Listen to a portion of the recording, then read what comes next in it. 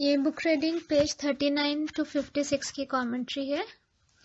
तो आ, मैंने कुछ कुछ इसमें इम्पोर्टेंट पॉइंट्स जो है वो नोट डाउन करके रखा है उसको मैं फर्दर एक्सप्लेन करती हूँ। तो उसके लिए मैं वो पहले पैराग्राफ पढ़ूँगी और फिर उस पर डिस्कशन मतलब उसके बाद उसको फर्दर एक्सप्लेन करूँगी।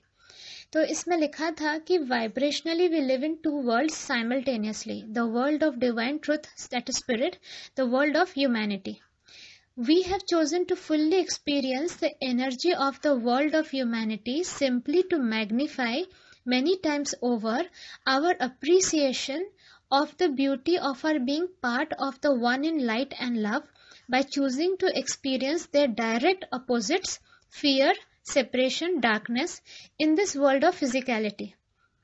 This world, therefore, is a spiritual classroom and life is the curriculum.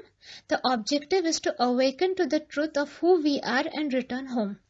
तो इसमें क्या समझाया जा रहा है कि देर आर टू वर्ल्ड्स एक है हमारा फ़िज़िकल वर्ल्ड जस्ट जिसमें हम रह रहे हैं, जहाँ पे एवरीडे की परेशानी, ये दुख, ये दर्द, ये डर, ये जेलसी मतलब जितने सारे परेशानियाँ जो हम देखते हैं, ये हो गया हमारा वर्ल्ड ऑफ़ ह्यूमैनिटी या फ़िज़िकल वर्ल्ड हो गया एक वर्ल्ड है that is of divine truth that is spiritual world जिसमें हम बीच बीच में कनेक्ट होते हैं।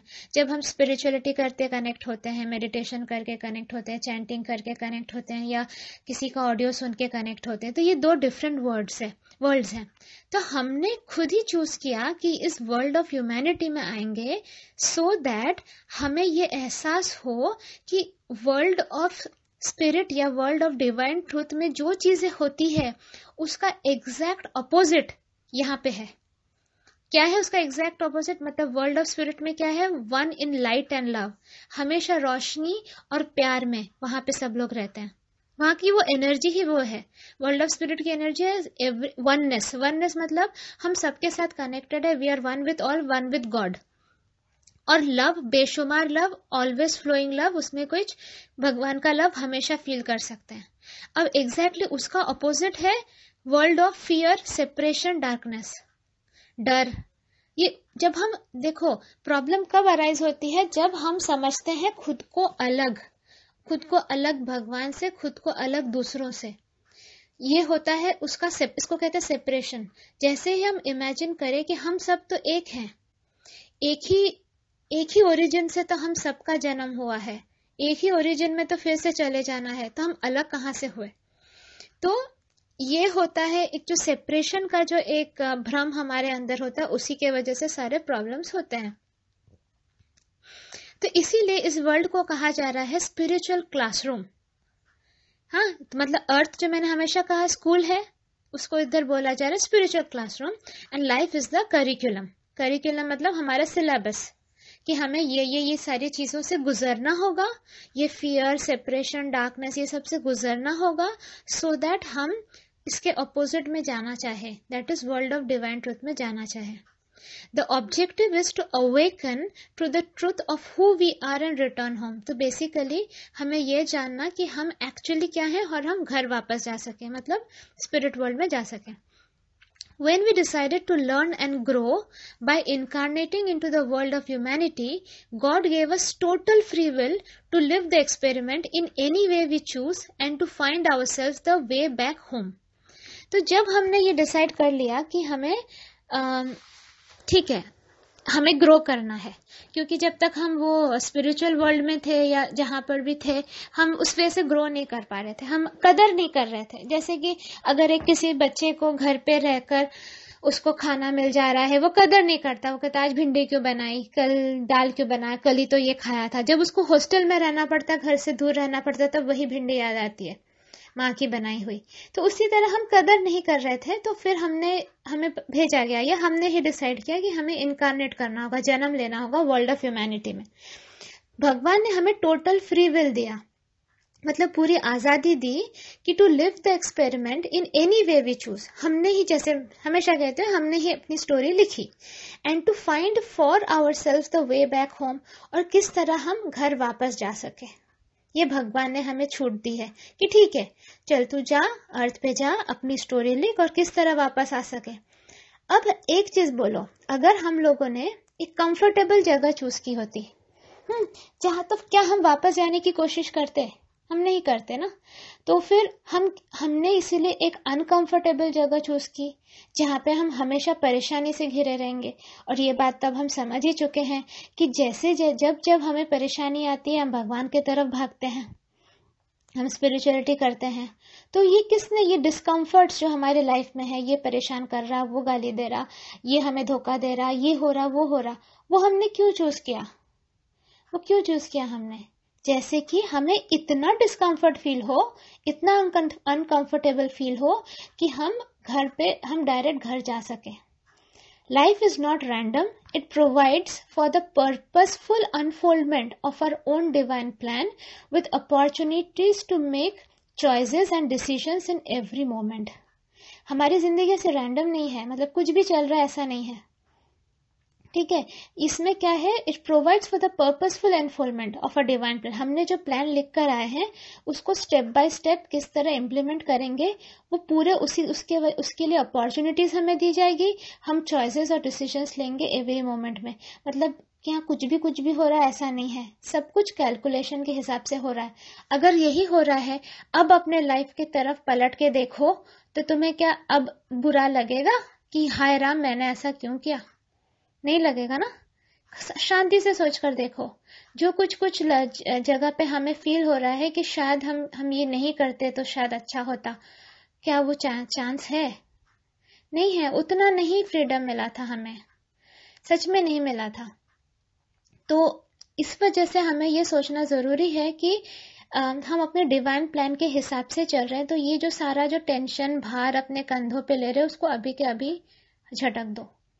सब कुछ is under control spirit is actually taking care of anything spirit मतलब भगवान। सब कुछ कंट्रोल में रखा है।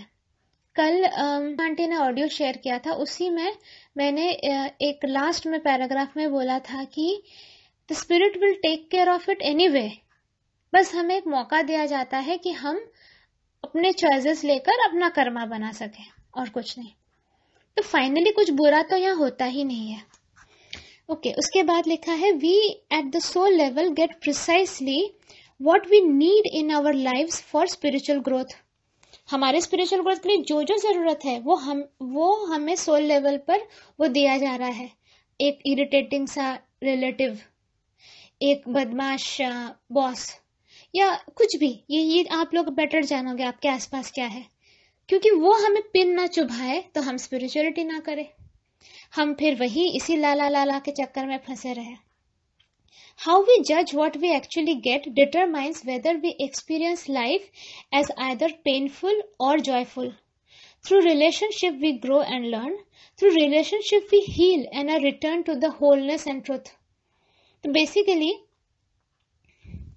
हाउ वी जज what we actually get determines whether we experience life as either painful or joyful अब आपके लाइफ में आपको जो भी मिला है आप उसको किस वजह से जज करते हो उसी से आपको पता चले आप उसी से आप चूज़ कर लेते हो कि एक्चुअली आप सुखी रहोगे या दुखी रहोगे। मतलब अगर आपके लाइफ में सब कुछ है अच्छी, अच्छी मतलब बेसिक चीज़ें आपको मिल रही है दो वक्त की रोटी आपको मिल रही है एक छत है हेल्थ ठीक ठाक है। लेकिन अगर आपको फिर भी लग रहा है कि मेरे लाइफ में इस चीज़ की कमी है, कोई एक चीज़ आपकी लाइफ में ऑफकोर्स नहीं होगी। हाँ अनकंफर्टेबल तो करके रखना है ना लाइफ को तो वो नहीं होगी। तो उस समय पे आप अगर उसी चीज़ को लेके कंप्लेन करते हैं मतलब आपकी लाइफ पेनफुल है। और अगर आप वो एक चीज़ को इग्नोर करके बाकी की चीज़ों को पे ध्यान रखकर आप खुश रहते हैं तो आपकी लाइफ जॉयफुल है। तो जज कौन कर रहा हम जज कर रहे हैं। Through relationship we grow and learn of course अगर आपको आज वो उस इंसान ने परेशान नहीं किया होता तो शायद आप इस ग्रुप को आपने ज्वाइन नहीं किया होता तो शायद इतना वास्ट नॉलेज आपको मिला नहीं होता। तो इस रिलेशनशिप की वजह से आपने ग्रो किया, आपने पेशेंस डेवलप किया, आपने फोगिवनेस किया, आपने सीखा तो definitely through relationships we heal and our return to the wholeness and truth जब आपको असीम प्यार किसी से मिल गया किसी से भी, शायद मुझसे मिल गया, या किसी से कृष्णा से मिल गया, या कृष्णा के साथ तो रिलेशनशिप इसमें बोल नहीं रहे यहाँ पे ह्यूमन रिलेशनशिप बोल रहे हैं। हो सकता है कि किसी रिलेशनशिप से आपको इतना प्यार मिल गया तो आप हील भी हो गए। और जब हम हील हो जाते हैं, तभी हम होलनेस एंड ट्रूथ के साथ कनेक्ट हो जाते हैं। We need others to mirror our misperceptions and our projections and to help us being repressed and help us bring repressed material to consciousness for healing. ये चीज़ मैंने बोली थी कि हमारे अंदर दबी हुई चीज़ें हैं सीड्स हैं, एकदम गड्ढे के अंदर। मतलब जो जैसे वीड्स होते हैं ना, जंगली पेड़, उसके जो रूट्स होते हैं, बहुत डीप रहते हैं, उनको उखाड़ने में जान निकल जाती है। हम निकालते हैं तो सिर्फ़ ऊपर से पत्ते पत्ते निकल जाते हैं, पर उनका जड़ एकदम डीप होता है। तो क्या होता है, दूसरों के वजह से हमारे अंदर वो दबी हुई रिप्रेस्ड मटेरियल जो है वो ऊपर आ जाती है। जब हम हम उखाड़ते हैं जब हमें यूनिवर्स फॉर एग्ज़ाम्पल मेरे अंदर कहीं डीप अटैचमेंट किसी एक पर्सन के लिए होगा। ऐसे मुझे नहीं पता ऐसे मुझे लग रहा है I'm detach I'm detach but ऐसी कोई सिचुएशन आ जाती है उस समय जब मुझे पेन फील हुआ देन मैं समझ मैं समझ सकती ओके okay, अभी तक मैं अटैच्ड हूँ इसलिए मुझे पेन फील हो रहा। तो क्या होता है रिलेशनशिप्स के वजह से हमारे मिसपरसेप्शंस हमारे जो गलत फहमियाँ होती है या हम, हमारे जो गलत नज़रिया होता है, ये सारी चीज़ें जो नीचे दबी हुई होती है, वो ऊपर आ जाती है टू कॉन्शियसनेस फॉर हीलिंग देखो, जब तक वो नीचे से ऊपर ना आए, तब तक तो हम उसे हील भी नहीं कर सकते। नीचे दबा हुआ रहेगा तो कैसे? अगर तुम्हें कहीं जख्म हुआ है डीप जख्म है हाँ मतलब सपोज़ कांटा चुभा है जो अंदर चला गया। ऊपर ऊपर शायद स्किन बन गई है तो कांटा दिख नहीं रहा, पर अंदर से कंटिन्यूसली चुभ रहा है। तो उसको तो नीचे से बाहर निकालना पड़ेगा ना, तभी तो वो पैर हील होगा, तभी तो वो ठीक हो जाएगा। तो उसी तरह हमारे अंदर ऐसे डीप रूटेड लोअर इमोशंस होते हैं, जो कि रिलेशंस के थ्रू ही बाहर आते हैं। तो इसका मतलब ये रिलेशंस कितने इंपॉर्टेंट है? जिनसे, जिनको हम कोस रहे हैं, जिनसे हम भागने की कोशिश कर रहे हैं, पर उनको हम ही ने रखा है अपने लाइफ में। वरना ग्रोथ कैसे होगा? इजेंट इट अब देखो, इस नज़रिए से अब अपने लाइफ को देखो। Through the law of resonance we attract people who resonate with our issues so we can heal them for example if abandonment is our issue we will tend to attract people who abandon us in that sense they serve as a teachers मतलब अगर हमारा अंदर एक जख्म है कि लोग मुझे छोड़ देते हैं, मुझे इस्तेमाल करके छोड़ देते हैं, मैं तो उन्हें हेल्प करती हूँ, लेकिन वो मुझे छोड़ देते हैं। तो हम ऐसे ही लोगों को अट्रैक्ट करेंगे जो हमें हर बार छोड़ेगा। क्यों? क्योंकि वो हमारा इश्यू है। क्योंकि फाइनली तो it's not about them it is about us तो जब पहली बार हमें किसी ने छोड़ा, हमने उसके लिए डीप वूंड क्रिएट कर लिया अपने अंदर, और उस जख्म को हमने भरने नहीं दिया। हमने उस इंसान को रिस्पॉन्सिबल समझा हमारे परेशानी के वजह के, के लिए कि वो इंसान रिस्पॉन्सिबल है मेरे दुख के लिए। तो हमने क्या किया? एक जख्म बना लिया। अब क्या हुआ? वो जख्म और मक्खियों को अट्रैक्ट करेगा। ठीक है ना? तुमने देखा होगा ना जब एक गंदा सा जख्म बन जाता है तो और कीड़े मकोड़े मक्खियाँ आती है उस पर बैठती है। तो ऐसे ही हम और लोगों को अट्रैक्ट करेंगे। तो क्या करना है? जख्म को भर लेना है तुरंत। सामने वाला रिस्पॉन्सिबल नहीं है। मैं रिस्पॉन्सिबल हूँ, जो भी कुछ मेरे साथ हुआ। ज़रूरी था होना, कुछ सीखना था, इसके वजह से हुआ। अटैचमेंट से निकलना था। शायद मैं रिज़ल्ट ओरिएंटेड कर रही थी। मैंने किसी को हेल्प किया, ये सोचकर कि वो भी मुझे हेल्प करेगा। तो that was a result oriented act जो कि सही एक्ट नहीं है। बहुत सारी चीज़ें सीखनी होती है। कुछ होगा, वो सीखना। तो ये सारा क्या होता है? लॉ ऑफ़ रेजोनेंस के हिसाब से कि हम वही अट्रैक्ट करते हैं जो कि हम, हमारे इश्यूज़ से जो रेजोनेट करते हैं। तो ये बहुत हमें केयरफुल रहना होगा। अगर एक पैटर्न में हो रहा है आपके साथ लाइफ में तो कुछ एक इश्यू दबा हुआ है अंदर। ठीक है? कुछ एक इश्यू दबा हुआ है, वो धीमे धीमे मिलेगा आपको चांस समझ में आएगा। जैसे जैसे आपके लेयर्स ऑफ़ डर्ट निकलते जाएँगे, आपको समझ में आएगा। तो क्या हो गया? In that sense they serve as our teachers हमारे टीचर ही बने कि नहीं वो? What appears to be cruel and nasty behaviour on someone somebody's part might be exactly what we need and have indeed called forth situations that appear to be the worst that could possibly befall us may hold the key to our healing something deep within us that keeps us from being happy and prevents our growth. The people who seem to us to be the most troublesome and the least likable could therefore be our greatest teachers. हम ना एक प्याज जैसे होते हैं onion जैसे उसके ऊपर के बहुत लेयर्स होते हैं तो क्या होता है पहले जब आप स्पिरिचुअलिटी करते हो तो पहला लेयर तो निकल जाता है। कौन सा पहला? वो सख्त वाला जो लेयर है खड़खड़ा सा, सूखा हुआ लेयर निकल जाता है। उसको निकलने में ज़्यादा टाइम नहीं लगता। हमें लगता है हमने सीख लिया। लेकिन नहीं, उसके बाद बहुत सारे लेयर्स होते हैं, जो कि धीमे धीमे धीमे निकलते हैं। इसके वजह से हमने बहुत सारे लोगों को अपने लाइफ में ऑलरेडी प्लांट करके रखा है, बो के रखा है ये ये टाइम पे ये ये आएँगे और हमें रियलाइज़ कराएँगे सेकेंड लेयर अभी निकालना है, थर्ड लेयर अभी निकालना है, फोर्थ लेयर अभी निकालना है। तो क्या होता है कि क्या इसमें बोल रहे somebody cruel and nasty behaviour may be exactly what we need and we have called forth जब कोई इंसान नेस्टी बिहेवियर करेगा, बुरा बिहेवियर करेगा, और उस समय हमने अपना शांत बिहेवियर अपनी स्थिरता को मेंटेन कर ली मतलब गुड हमने सीख लिया जो सीखना था। नहीं कर पाए? मतलब अभी भी हमारे अंदर कुछ कुछ चीज़ें हैं जिसपे हमें काम करना है।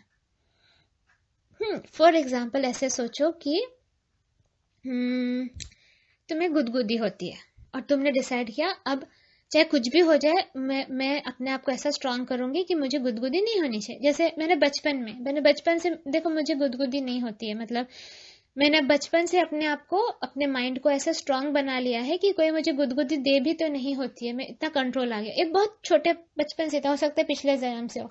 तो मुझे मेरे फैमिली मेंबर सबने सबने कोशिश करके देखा है मुझे टिकल फील नहीं होता। तो लेकिन वो वो शायद मैंने, वो पावर हो या वट जो कुछ भी है, वो जो मैंने अचीव किया है, वो मेरे अंदर आ गया है कि नहीं, उसके लिए तो किसी को आना होगा मुझे गुदगुदी देने के लिए, तब तो मुझे पता चलेगा कि हाँ मुझे अभी भी होती है कि नहीं होती है। एम आई इन कंट्रोल और I am not in control आपको लगता है आपने गुस्से पे काम कर लिया अपना। किसी को तो आना पड़ेगा आपको इरिटेट करने के लिए, तब तो आपको पता चलेगा कि आपके अंदर गुस्सा भी है कि नहीं है।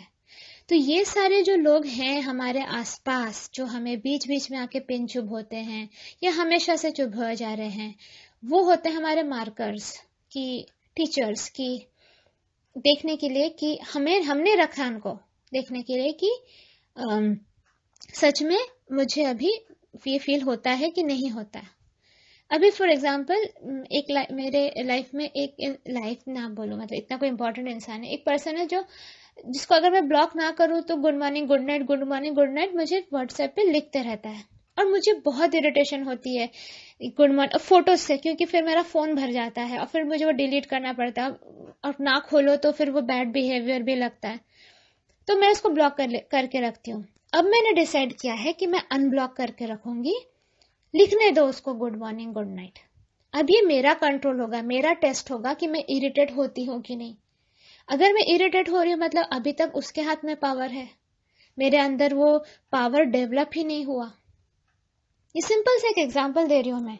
तो मुझे तो ये देखना होगा ना कि मेरे अंदर वो डेवलप हो गया कि नहीं कि सामने वाला सर्कस करे, कूदे, लोटपोट करे, लेकिन मैं अपना इनर पीस और स्टेबिलिटी मेंटेन कर पा रही हूँ कि नहीं। This is what is my aim to achieve मैं अगर गुस्सा हो गई, परेशान हो गई मतलब मैंने वो कंट्रोल खो दिया। मेरे सेंसेस पे कंट्रोल नहीं है। देखो, जब कोई क्रिकेट खेलता है ना बड़े बड़े players suppose India Pakistan match हो रही है सपोज़ तेंदुलकर बैटिंग कर रहा है तो पाकिस्तानी प्लेयर्स कंटिन्यूसली ना उसको इरिटेट करने की कोशिश करते हैं उसका ध्यान बटाने के लिए सो so दैट वो डिस्ट्रैक्टेड हो जाए आउट हो जाए। लेकिन सचिन को देखोगे कि एकदम काम रहता है, वो कुछ ध्यान नहीं देता, उसका फोकस हटता नहीं है, उसका फोकस बॉल पे रहता है, क्योंकि अगर वो गुस्सा हो जाए, मारने को जाए इनको तो आउट हो जाएगा ना डिस्ट्रैक्ट हुआ कि आउट हो गया। तो हमें भी लाइफ में इसी तरह से एकदम फुल फोकस रखना होगा। ठीक है कि और ये सारे लोगों को हमने अपने लाइफ में रखा है सो so दैट हमें बीच बीच में वो पता चले कि क्या हमने इतना काम कर लिया, अपने ऊपर और काम करना बाकी है। ये हमने खुद के लिए रखा है।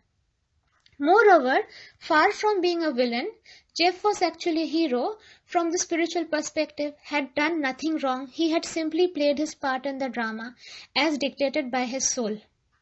acting in support of Jill's healing at the soul level. तो जिन लोगों ने ऑलरेडी फ़र्स्ट कमेंट्री मेरी सुन ली है और जिन्होंने पढ़ भी लिया है अब तक का बुक स्टडी अब तक का बुक उन्हें पता है कि जिल का फिर जेफ की कोई गलती नहीं थी जेफ जो जिल का फ़र्स्ट हस्बैंड था नहीं नहीं सॉरी हेनरी फ़र्स्ट हस्बैंड था Jeff was the second husband तो जेफ की कोई गलती नहीं थी उस हिसाब से। उसने अपना सिर्फ़ रोल प्ले किया क्योंकि जिल को ये चीज़ हील करनी थी सोल लेवल पे।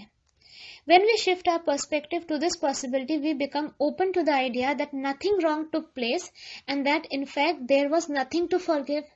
तो कुछ गलत हुआ ही नहीं तो माफ़ करने की तो बात ही नहीं उठती है। जब यहाँ पे किसी के साथ कुछ बुरा हो ही नहीं रहा है जब ये फैक्ट ही क्लियर हो गया है कि जो कुछ भी हो रहा है, हमारे ग्रोथ के लिए हो रहा है। तो माफ़ करने की तो कोई बात ही नहीं उठती। This is precisely the notion that defines radical forgiveness it is also what makes it radical यही रेडिकल फॉरगिवनेस का एक्चुअली यही सिखाया जा रहा है। ठीक है? From this we notice that traditional forgiveness takes it as a given that something wrong happened. Radical forgiveness, on the other hand, takes the position that nothing wrong happened and that consequently there is nothing to forgive. We can put it like this. With traditional forgiveness, the willingness to forgive is present, but so is the residual need to condemn. Therefore, victim consciousness is maintained and nothing changes. With radical forgiveness, the willingness to forgive is present, but not the need to condemn. Therefore, the victim consciousness is dropped and everything changes. Victim consciousness is defined as the conviction that someone else had done something bad to you and as a direct result they are responsible for the lack of peace and happiness in your life. Hmm? दो चीज़ है एक है traditional forgiveness एक है radical forgiveness traditional forgiveness वाला क्या है तुमने मेरे साथ बुरा किया चलो मैं फिर भी माफ़ करती हूँ क्यों क्योंकि हमें सिखाया गया है कि कोई बात नहीं हमें माफ़ करना चाहिए this is spirituality and everything लेकिन ये जो सेंटेंस है तुमने मेरे साथ बुरा किया।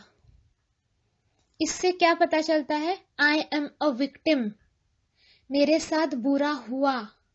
ओके okay, ये सबसे प्रॉब्लमेटिक बात है और इससे निकलना अरे बाप रे बाप। ये ऐसे घेरता है ना ये विक्टिम कॉन्शियसनेस कि अगर रोज इस चीज़ को ना सुनो रोज इस चीज़ को ना पढ़ो एक सेकंड में तुम विक्टिम कॉन्शियस फील कर सकते हो एक सेकंड में। इस ये इतना ज़्यादा इम्पोर्टेंट नॉलेज है कि अगर ये चीज़ हमने मास्टर कर ली, हमारा एक पैराडाइम शिफ्ट हो जाएगा, एक ऊँचे लेवल पे हम चले जाएँगे। और ये बहुत मुश्किल है। हमारे साथ जैसे ही कोई बुरा कुछ करता है, तुरंत हम विक्टिम कॉन्शियसनेस में चले जाते हैं। मेरे साथ बुरा हुआ, इसने मेरे साथ बुरा किया। ये रीजन है मेरे पेन का। ये हो गया ट्रेडिशनल फॉरगिवनेस कि तूने मेरे साथ बुरा किया, जा मैं फिर भी तुझे माफ़ करती हूँ। रेडिकल फॉरगिवनेस है कि मेरे साथ कुछ बुरा हुआ ही नहीं। ये सारा कुछ मेरे ग्रोथ के लिए नेसेसरी था। फॉरगिवनेस का सवाल ही नहीं उठता। Traditional forgiveness is rooted in the physical world हमारे आसपास अभी जिस फ़िज़िकल वर्ल्ड में, उसमें ये रूटेड है। Radical forgiveness is rooted in the metaphysical reality of the world of spirit that which is the world of divine truth तो देखो, दोनों का रूट देखो। फ़िज़िकल वर्ल्ड में ये उसको मार रहा है, इसको गाली दे रहा है। चल तेरे को माफ़ किया तूने, मुझे गाली दी, फिर भी मैंने तुझे माफ़ किया। रेडिकल फॉरगिवनेस तूने मुझे गाली दी? बिकॉज़ मैंने ही डिसाइड किया था, तू मुझे गाली देगा इस टाइम पे। ये देखने के लिए कि मेरे अंदर ग्रोथ हुआ है कि नहीं, अभी भी हिल रही हूँ, डुल रही हूँ कि नहीं। तो बुरा तो हुआ ही नहीं फॉरगिवनेस का सवाल ही नहीं उठता। तो कौन सी वाली में एनर्जी ज़्यादा है? पॉजिटिव एनर्जी ज़्यादा है। रेडिकल वाले में ना। तो जिसकी जितनी अच्छी एनर्जी उतना वो वर्ल्ड ऑफ़ स्पिरिट से कनेक्टेड डिवाइन से कनेक्टेड दिव्यता से connected The world of humanity and the world of divine truth represents two ends of a vibrational scale. When we vibrate at a low frequency, our bodies become dense and we exist only in the world of humanity. When we vibrate at a higher level, which makes our bodies become lighter, we exist also in the world of divine truth. Depending upon our vibration at any moment, we move up and down the scale towards one world or the other. तो सोचो हम खड़े हैं नीचे की जो भी energies हैं लोअर एनर्जीज वो है वर्ल्ड ऑफ़ ह्यूमैनिटी काम, क्रोध, लोभ, ये सारा कुछ जो कचड़ा है, ये सब नीचे है। तो जब हम ये सब में वाइब्रेट होते रहते हैं, हम वो नीचे के वर्ल्ड में रहते हैं। लेकिन जैसे ही हम अपने आप को उठा लेते हैं ये सब कचरा से ऊपर मतलब रेडिकल फॉरगिवनेस करके कि मेरे साथ तो कुछ बुरा हो ही नहीं सकता है, क्योंकि यहाँ किसी के साथ कुछ बुरा होता ही नहीं है। पर्पज ही तो है यहाँ पे ग्रो करने के लिए। ये सारा तो मैंने ऑलरेडी प्लांट करके रखा था। देखो, जब हम कोई मूवी देखते हैं इनफैक्ट आजकल के रियलिटी शोज़ भी, आजकल के रियलिटी शोज़ भी तो सारे ऑलरेडी पहले से स्क्रिप्टेड होते हैं ना?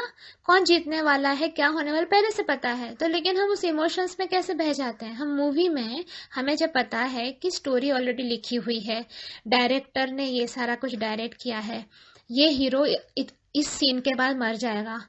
लेकिन it's nothing to worry about क्योंकि ये पहले से डिसाइडेड था। ये विलेन इस हीरोइन का रेप कर रहा है, क्योंकि ये पहले से डिसाइडेड था। तो हम फिर भी कैसे इमोशनल हो जाते हैं? तो उसी तरह हम अपनी लाइफ में भी इसी तरह से इमोशनल होते रहते हैं। हमें ये लगता है कि, अरे बापरे मेरे साथ कितना बुरा हो गया। हाय राम, अब क्या होना चाहिए? अब क्या करो क्या करो क्या करो? तो ये हमें एकदम बार बार अगर हम ये ये रेडिकल फॉरगिवनेस बुक इसलिए मैंने शुरू कराया है, इससे पूरी ज़िंदगी बदल जाती है। लेकिन इसका एक एक सेंटेंस समझना है, इसलिए कमेंट्री देती मैं। हर एक हर एक सेंटेंस को पढ़ने के बाद मैं इसको इसलिए एक्सप्लेन कर रही हूँ, क्योंकि जितना हम सुनेंगे, उतना हम बेटर डीपर समझेंगे। और मेरे इस ऑडियो को भी दो तीन बार सुनना होगा आपको। फ़र्स्ट टाइम में सब कुछ दिमाग में नहीं घुसेगा। ज़िंदगी बदलनी है, मेहनत करनी होगी। हम्म तो जब हम हायर फ्रीक्वेंसी पे वाइब्रेट करते हैं मतलब हमारे अंदर ये सारे थॉट्स हैं गुड थॉट्स की, हर एक सोल अपने जर्नी पे है और वो अपने हिसाब से बिहेव करेगा। सबसे बड़ी प्रॉब्लम हम क्या करते हैं? सामने वाले को ये कोशिश करते दिखाने की, तू गलत है। तूने मुझे पेन दिया। हम उसी चक्कर में फंसे रहते हैं कि कैसे सामने वाले को बताया जाए कि तू गलत है। मतलब उस समय सोच लो हम लोअर फ्रीक्वेंसी पे वाइब्रेट कर रहे हैं। मैं भी करती हूँ कभी कभार ये। और तब मुझे, बाद में मुझे रियलाइज़ होता है, हाय राम, ये मैंने क्या कर मुझे क्या करना है? क्या करना है मुझे सामने वाले को उसकी गलती दिखाकर? जज पोजीशन पे भगवान बैठे हैं ना, वो वो कर रहे हैं ना अपना काम। मेरा काम क्या है? मेरा काम है खुद को इम्प्रूव करना। सामने वाले को तो बंदर रूप में आना ही था। वो उत्पटांग हरकतें नहीं करेगा तो मैं कैसे सीखूँगी कि मुझे कहाँ कहाँ काम करना है? अब मैं बंदर को ही चेंज करके ह्यूमन बनाने की कोशिश कर रही हूँ। ये तो गलत है ना? मैं उस ट्रिगर को ही हटा देने की कोशिश कर रही हूँ, जो ट्रिगर मैंने रखा ही है खुद के लिए। कि मुझे कोई गुदगुदी करे और मैं देखूँ मुझे गुदगुदी हो रही है कि नहीं। कोई मुझे गुस्सा दिलाने की कोशिश करे और मैं देखूँ कि मुझे गुस्सा आ रहा है कि नहीं। तो ट्रिगर को हटाना नहीं है। ट्रिगर रहेगा हम भी रहेंगे, बस हम कंट्रोल में रहेंगे। और वो तब होगा when we vibrate at a higher level और जब हम वाइब्रेट करते हैं एट अ हायर लेवल उस समय हम ऊपर वाले वर्ल्ड से कनेक्टेड होते हैं। The metaphysical reality of the world of spirit divine world से कनेक्टेड होते हैं। तो अब से हमेशा ये याद रखना है कि हम लोअर वाइब्रेट कर रहे हैं हायर हाँ अब से हम ग्रुप में ये टर्म यूज़ करेंगे कि I was vibrating at a lower frequency last week जैसे हमें बुरा लगे। हम्म तो ये, आप लोग जो लोग भी सुनोगे, आपसे आप ये सब, ये टर्म यूज़ करोगे। खुद को ही बोलना है कि last week for two days I was vibrating at a lower frequency and then I started vibrating at a higher frequency तो समझ में आ जाएगा, ठीक है। ह्यूमन वर्ल्ड से हम डिवाइन वर्ल्ड में चले गए। Okay the world of humanity represents the world of objective reality as we see outside ourselves. It's a world of form. It provides a setting in which we live our everyday human lives as well as the reality we experience through our five senses. It holds the energy pattern of death, change, fear, limitation, and duality. This world provides us with the environment in which we, as spiritual beings, can experience being human. This means we having a physical body and working with a particular energy pattern associated with the world of humanity that we may have specifically come in to work with. डरो मत ये भारी भारी sentences सुन के इनका postmortem करके बस समझना है वो घुमा फिरा के वही बात बोल रही है इसलिए मैं सिंप्लीफाई कर दे रही हूँ डरा मत करो मुझे पता है बहुत लोग ये बुक देख कर डर गए मैं तो कर ही रही हूँ एक्सप्लेन एकदम साफ़ सीधा लैंग्वेज में बता रही हूँ वर्ल्ड ऑफ़ ह्यूमैनिटी क्या होता है, जो हम एवरीडे देखते हैं हमारे आसपास?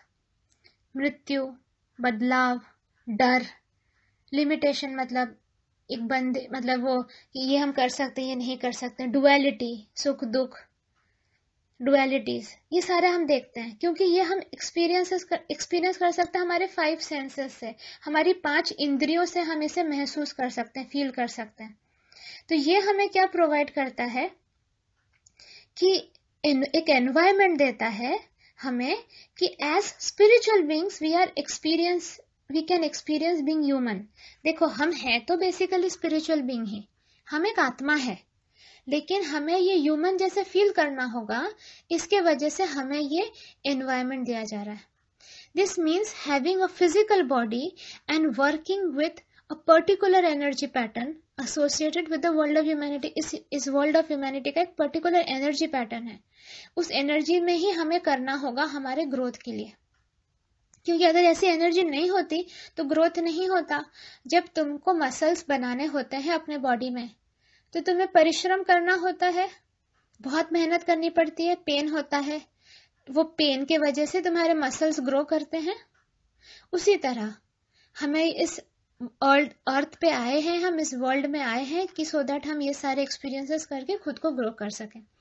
अब एक्सप्लेन किया जा रहा है the world of divine truth तो कहा जा रहा है the world of divine truth on the other hand has no physical form and already carries the energy pattern of eternal life immutability immutability मतलब that which cannot change infinite abundance love and oneness with God देखो world of humanity में क्या था? एक physical form था। हमें सारी चीज़ें फिजिकली दिख रही है।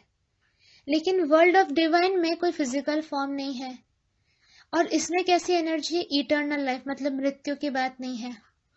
कोई चेंज बदलाव नहीं आ सकता। इनफाइनाइट अबेंडेंस किसी चीज़ की कमी नहीं है। प्यार, बेशुमार प्यार और वननेस विद गॉड एक एकत्व, भगवान के साथ एकत्व। Even though we cannot perceive this world with our senses we scarcely possess the mental capacity to comprehend it we can get enough of a sense of it to know what is real भले हमारे हमारी capacity नहीं है कि हम इसे अपने आ, मतलब स्पिरिट वर्ल्ड को हम समझ सके लेकिन थोड़ा बहुत हमें आइडिया है कि वो क्या है कैसे हमें आइडिया है Such activities as prayer, meditation and radical forgiveness, all of which raise our vibration, allow us to access the world of divine truth.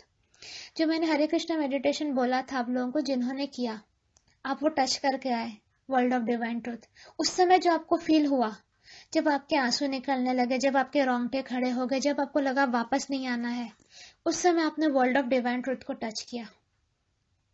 Meditation से भी होता है। प्रेयर से होता है रेडिकल फॉरगिवनेस होता है एकदम से आपको हल्का फील होने लगेगा। अब ट्राई करके देखो ना अब तक जिन लोगों को आपने पकड़ के रखा है कि ये मेरे दुख के कारण है these are the people who are responsible for my pain radical forgiveness करो। बोले मेरे साथ तो कुछ बुरा हो, हो हो ही नहीं सकता और कुछ बुरा हुआ ही नहीं। मैंने ही इन्हें रखा था अपने लाइफ में बेचारे खाम खा गाली खा गए मेरे से। बेचारे इन्हीं को तो मैंने रखा था कि मुझे आके पेन चुभाए और चुभा तो मैंने झापड़ मार दिया। हम्म?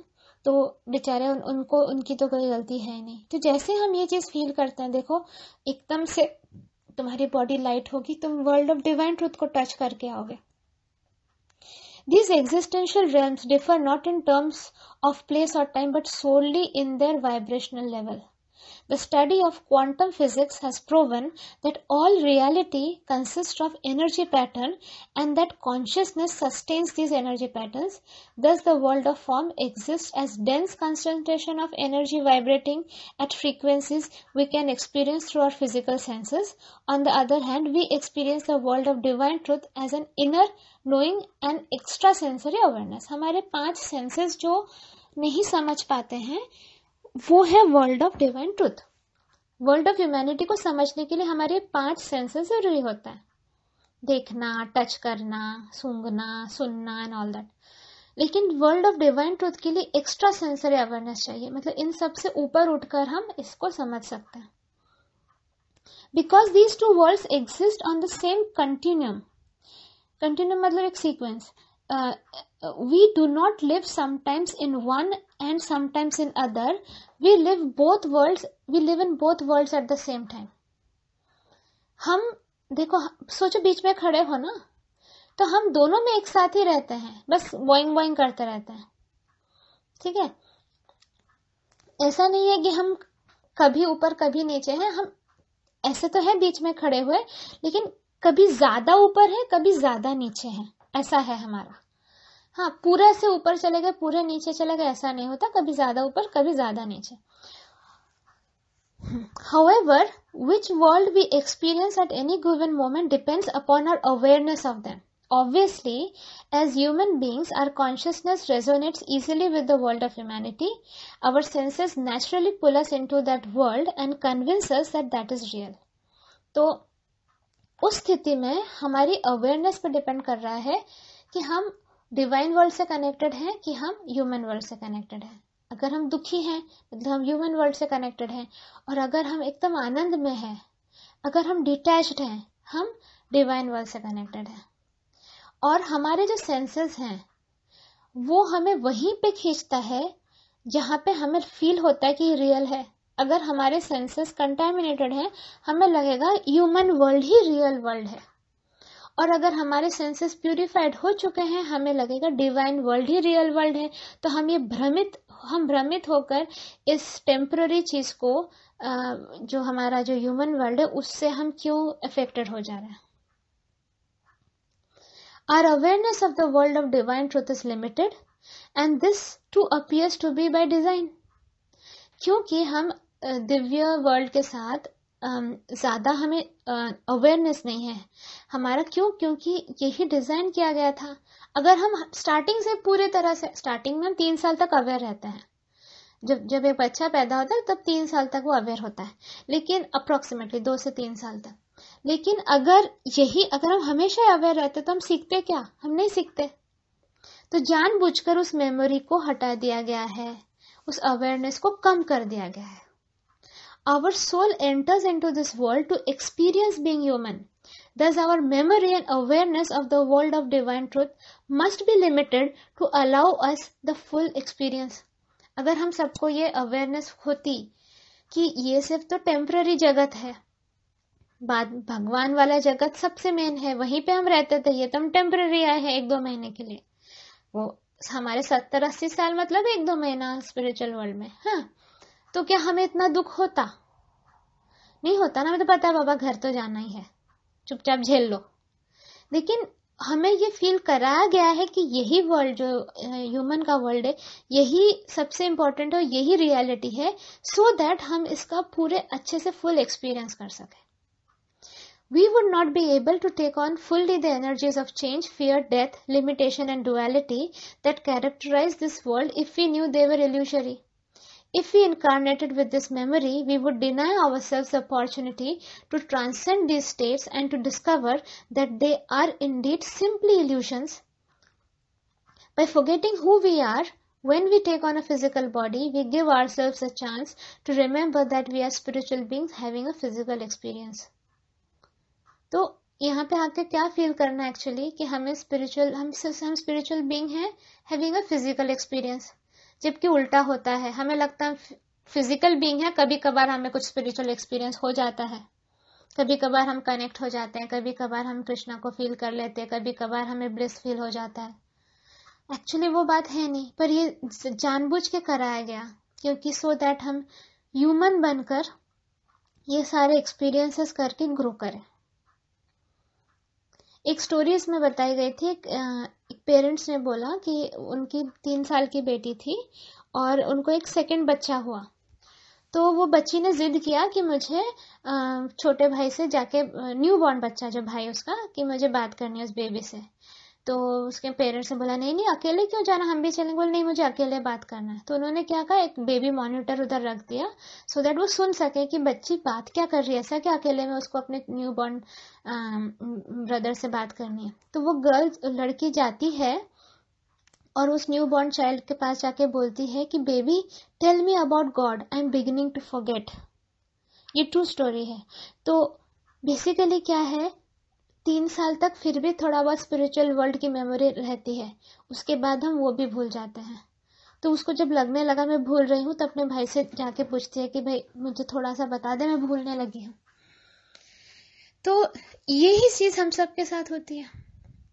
The soul normally experiences no limitation however When it incarnates, the soul creates a personality or ego that carries the particular characteristics it needs for its healing journey and chooses to forget its connection to the world of divine truth. ध्यान से फिर से सुनो the soul normally experiences no limitation आत्मा का कोई limitation नहीं होता है लेकिन जब वो चूज़ करता है कि मुझे अभी जन्म लेना है इनकारनेट लेना है तब आत्मा क्या क्रिएट करती है ईगो या पर्सनालिटी। हाँ that carries the particular characteristics it needs for its healing journey जो भी कैरेक्टरिस्टिक्स उसको ज़रूरी होता है। हमारे एक, एक, एक होता है कि नहीं हमारे सबके में एक अलग सा कैरेक्टरिस्टिक होता है। हमें ये ये चीज़ होती है वो चीज़ नहीं होती। कोई बहुत पोलाइट होता है तो कोई रूड होता है। तो कोई गुस्से वाला होता है तो कोई प्यारा होता है तो हमारे कैरेक्टरिस्टिक्स होते हैं। पर वो ज़रूरी होता है पैदा होते वक्त वो सब हमारे अंदर रहे। क्योंकि वो ज़रूरी है इस हीलिंग जर्नी के लिए। अर्थ पे इनकारनेट करने को कहा जा रहा है इट्स अ हीलिंग जर्नी बराबर ना? हम हील होने तो आए हैं यहाँ पे। एंड इस वजह से chooses to forget its connection to the world of divine हम भगवान को भूल जाते हैं। ये हम चूज़ करते हैं कि हम भूल जाए। In spite of the veil, we lower over the memory of our oneness with God, which is above, which the above story suggests might become fully drawn around the age of tree. As humans, we are not denied a connection to the world of divine truth. Our soul carries a vibration that resonates with the world of divine truth and connects us to that world. तो ऐसा नहीं है कि हमें ये ये connection से वंचित किया जा रहा है। ऐसा नहीं है। लेकिन हमारी आत्मा एक वाइब्रेशन लेके चलती है कि जो, जिस वाइब्रेशन के हिसाब से हम वर्ल्ड ऑफ़ डिवाइन ट्रुथ से कनेक्ट होंगे ही। We can aid this connection through practices like meditation, prayer, yoga, breath, uh, breath work, dancing and chanting. Through such practices we raise our vibration enough to resonate with that of the world of divine truth. तो ये सारे करने से क्या होता है हम ऊपर वर्ल्ड ऑफ़ डिवाइन ट्रूथ से कनेक्ट हो जाते हैं तो अब आप लोग समझ रहे हो कि मैं बार बार आप लोगों से क्यों कहती हूँ स्पिरिचुअलिटी करो स्पिरिचुअलिटी करो स्पिरिचुअलिटी करो क्योंकि जितना आप वर्ल्ड ऑफ़ डिवाइन ट्रूथ से कनेक्टेड होगे, उतना आपकी यहाँ की जो लाइफ है, वो स्मूथ होगी। उतना आप हर एक इंसिडेंट से रिएक्ट नहीं करेंगे। हर एक कुछ भी आपके साथ बुरा होगा तो आपको ये नहीं लगेगा कि मेरे साथ बुरा हुआ है। इस वजह से कहती हूँ कि एक मतलब हमें एकदम विदाउट फेल स्पिरिचुअलिटी ऑप्शनल है ही नहीं। एक बार का तुम खाना ना खाओ दैट इज़ ऑप्शनल लेकिन स्पिरिचुअलिटी इज़ नॉट ऑप्शनल ये सबसे ज़्यादा इंपॉर्टेंट वही करने हम आए हैं यहाँ पे। But again we must continuously remind our selves that we have created that we have created is the spiritual ideal that we have created circumstances in our life that help us grow and learn that the lesson we need to learn are contained in the situation and that the only way to obtain the growth from the experience is to go through it और कोई चारा नहीं है। हमने ही ये अपने circumstances अपने life में रखा है टू ग्रो एंड लर्न हमने ही ये सारे लेसन रखे, हमने ही ये सिचुएशंस अपने लाइफ में बनाए हैं और हमें इससे गुजरना होगा so that we learn from it ठीक है? ये ये हमने ही सब किया है। अब पेज नंबर फिफ्टी थ्री पे एक टेबल है। एक मिनट अगर आप लोग उस टेबल को अभी खोल सकते हो तो देख सकते हो, उसमें ट्रेडिशनल फॉरगिवनेस और रेडिकल फॉरगिवनेस का डिफरेंस बताया है। तो ट्रेडिशनल फॉरगिवनेस मतलब वो वाला कि ठीक है, तूने गलती की, चल मैंने फिर भी तुझे माफ़ किया। रेडिकल फॉरगिवनेस किसी ने कुछ नहीं किया, ये मेरे ग्रोथ के लिए था, जो है सब अच्छा है। उसमें बोला जाए difference traditional forgiveness world of humanity radical forgiveness world of divine truth traditional forgiveness low vibratory rate या हाई वाइब्रेटरी रेट इसमें समथिंग रॉन्ग हैपन उसमें नथिंग रॉन्ग हैपन इसमें जजमेंट बेस्ड उसमें जजमेंट एंड ब्लेम फ्री इसमें past time orientation इसमें present time orientation इसमें need to figure it all out उसमें surrendering to what is as is control ही छोड़ देना है. अभी जब मैंने निकेता को जो ऑडियो भेजा था, उसमें मैंने क्या कहा था? कंट्रोल ही छोड़ दो. इसमें विक्टिम कॉन्शियसनेस उसमें ग्रेस कॉन्शियसनेस इसमें जजेस ह्यूमन इम्परफेक्शन इसमें एक्सेप्ट ह्यूमन इम्परफेक्शन इसमें वॉट हैपेंड डिड इसमें सिम्बॉलिक मीनिंग ऑफ़ इट इसमें फ़िज़िकल रियलिटी ओनली इसमें मेटाफिजिकल रियलिटी ओनली तो ये आप लोग देख सकते हो। इसमें एक है कि you and I are separate इसमें you and I are one इसमें शिट हैपन्स इसमें देर आर नो एक्सीडेंट्स तो इसे बहुत कुछ कुछ है। आप वो वो देख सकते हो इस पेज पे 53 पेज पे। अच्छा अब है व्हाट इज़ सीडो फॉरगिवनेस ये भी इंपॉर्टेंट है। कुछ एग्जांपल्स ऑफ़ सीडो फॉरगिवनेस है। The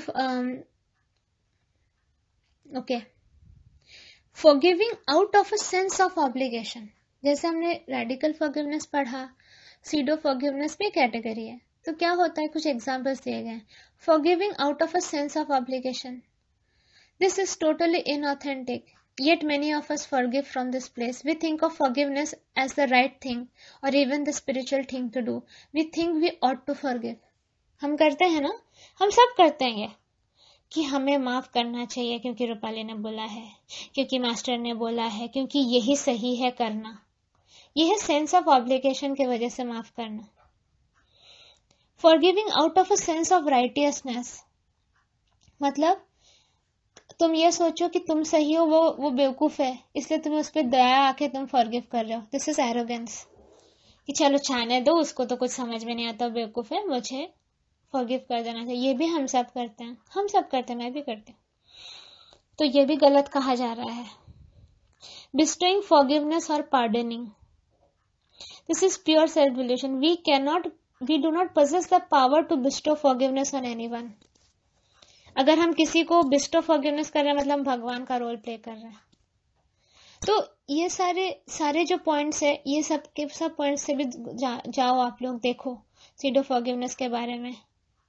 बहुत सारे पॉइंट्स हैं हम वो करते हैं कि नहीं। अगर इसमें आपको कोई क्वेश्चन है तो फिर आप पूछो। बहुत सारे इसमें एग्जाम्पल्स दिए गए हैं।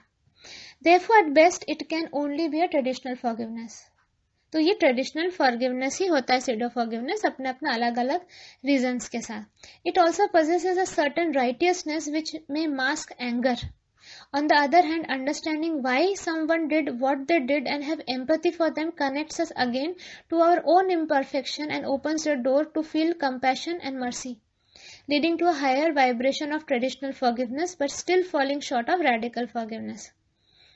उस इंसान का यह प्रॉब्लम चल रहा था, इसलिए उस इंसान ने ऐसा किया। ये रेडिकल नहीं है। ये है ट्रेडिशनल मतलब हम एक रीजन दे देते हैं उसके बुरे काम के लिए। मतलब पहले हम उसको कैटेगराइज करते हैं कि उसने बुरा किया और उसने इस वजह से बुरा किया। मतलब कहा है फोकस कहा है? उस पर फोकस है ना। फोकस कहाँ होना चाहिए? हम पे होना चाहिए। उसने कुछ बुरा किया ही नहीं। ये ज़रूरी था। ये मेरे ग्रोथ के लिए ज़रूरी था। प्लस हम तो डिजर्व जो करते हैं वो हमारे साथ होता है, ये तो मैं बहुत बार रिपीट कर चुकी हूँ। तो इसलिए रेडिकल फॉरगिवनेस और ट्रेडिशनल फॉरगिवनेस का डिफरेंस समझना बहुत ज़्यादा ज़रूरी है। दोनों अलग, दोनों के हाँ रेडिकल ट्रेडिशनल फॉरगिवनेस इंपॉर्टेंट है। ये नहीं कि वो इम्पोर्टेंट नहीं है, वो डेफिनेटली इंपॉर्टेंट है। लेकिन उससे भी हायर वाइब्रेशन पे है radical forgiveness forgiving the person but not condoning their the behavior. This largely intellectual approach may only masquerade as forgiveness because it still remains judgmental and self-righteous. It also has a practical and semantic problems. How do you separate a murderer from the act of murder? This last one raises the whole issue of accountability and responsibility which is the subject of next chapter. तो जब next chapter पे मैं commentary दूंगी उसमें हम देखेंगे act of accountability issue of accountability कि अगर कोई मर्डर करता है तो क्या हम उसको उस मर्डरर को उसके इस एक्शन से सेपरेट कर सकते हैं? तो वो हम नेक्स्ट कमेंट्री में देखेंगे।